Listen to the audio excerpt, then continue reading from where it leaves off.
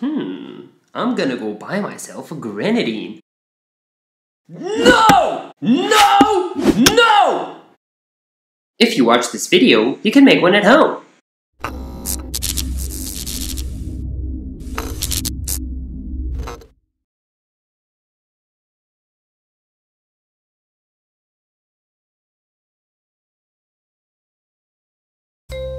Welcome to Lost and Found Exposed. My name is Guz, and today we will be focusing on grenadine. As you can see, I am tapping the pomegranates. That will make them soft and tender. And this will help you later on when you're de-seeding.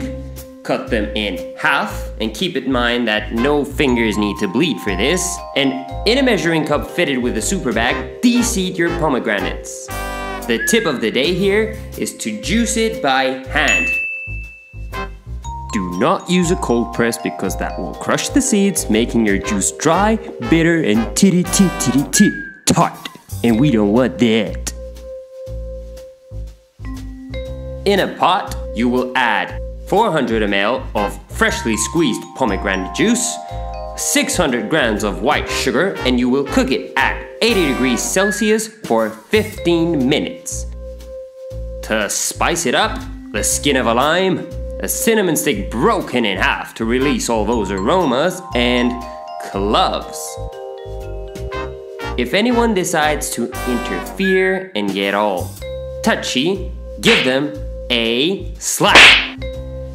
Okay, bubbles, bubbles, bubbles, bubbles, it's done! Get it off the heat. Strain everything out, and once it cools off, store this icky yicky goodness into a sexy container. And you're done. Thank you for watching, like and share the video, subscribe to the channel to stay tuned because we have lots and lots more coming your way. Lost and Found Exposed, out.